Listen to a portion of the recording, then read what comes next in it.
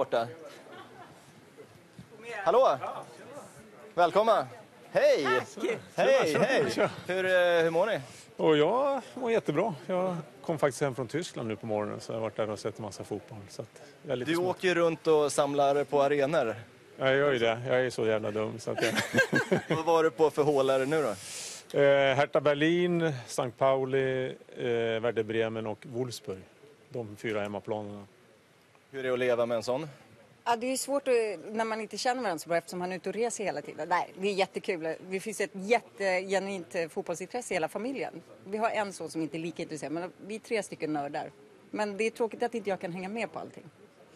Men det gör ju att eh, det blir lite mer spänning i förhållandet också när ni inte riktigt får träffas så ofta. Ja, hon, hon får inte följa med jämt.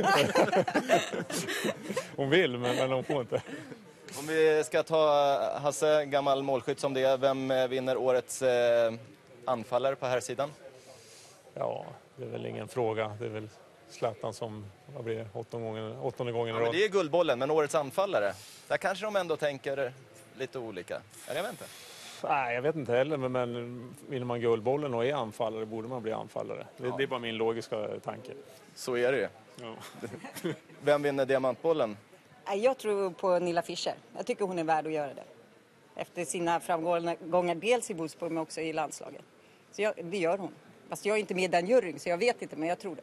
Var det Nilla du var och kollade på i Wolfsburg igår? Ja, men jag, var, jag var faktiskt där. Jag ringde och frågade efter numret, men hon hade match samtidigt. För jag var och kollade på den gamla arenan och tog en promenad och såg deras träningsanläggning och allting. Så att, eh, ja, jag hade lite koll på hennes hemmamiljö igår.